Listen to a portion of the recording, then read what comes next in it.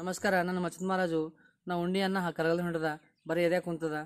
ಅಂದ್ರೆ ಏನು ಮಾಡೋದು ಅಂತ ಕೇಳಿದ್ರೆ, ಒಂದು ಗ್ಲಾಸ್ ನೀವು ಉರು ಬೆಚ್ಚಗೆ ಮಾಡಿರಿ. ಅದ್ರಾಗ ಒಂದು ಐದಾ ಚುಟ್ಕಿ ತಿಂಬ ಸೋಡ ಒಳಗೆ ಹಾಕಿ ಕುಡಿಯೋದ್ರಿಂದ ನಮ್ಗೆ ಆಗಿನಾಗೆ ಎಸ್ ಡಿ ಟಿ ರೋಗ ಕಮ್ಮಿ ಆಯ್ತದ. ಮಾಡಿ ನೋಡ್ರಿ ನಮಸ್ಕಾರ.